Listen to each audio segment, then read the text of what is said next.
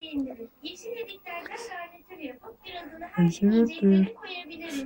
Teşekkür Anladım. Bu güzel bir fikir. Başka fikri olan var mı?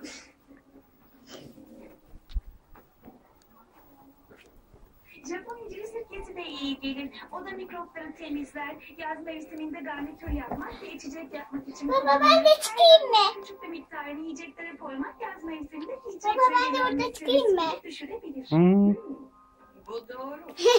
Başka cevap vermek isteyen var mı? baba, baba sen nasıl bu tarafa?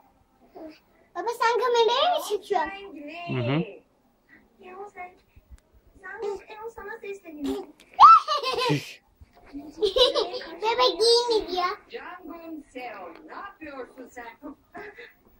Ona yardım kim söyledi? İkiniz de buraya gelin. Ay baba ben